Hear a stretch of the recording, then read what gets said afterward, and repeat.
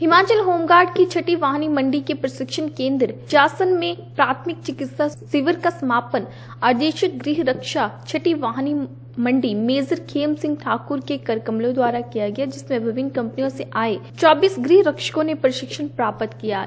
ये शिविर चार दिनों तक आयोजित किया गया। इस दौरान गृह रक्षकों को प्राथमिक सहायता की तकनीकी हड्डियों की चोट, घाव, रक्त बहाव, जन्म तथा सांप का काटना, वायरस के उपचार के बारे में प्रशिक्षित किया गया तथा आपदा के दौरान बचाव के आपातकालीन तरीकों के बारे में जानकारी हासिल की गई। मेजर खेम सिंह ठाकुर ने गृह रक्षकों को अपने कार्यों को पूर्ण लगन व निष्ठा के साथ निर्वहन करने का आह्वान किया।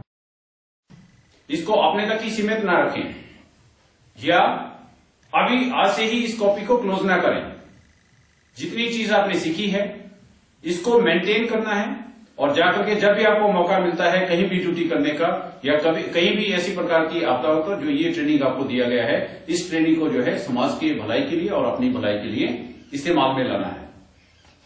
जब आप किसी ड्यूटी में हो, गार्ड में है कहीं, या किसी और टोली में हो तो उस टोली में बाकी चीज़ों को डिस्कस ना करके जो ये प्रशिक्षण आपको दिया गया है, इस प्रशिक्षण को जो है औरों को भी पास करें।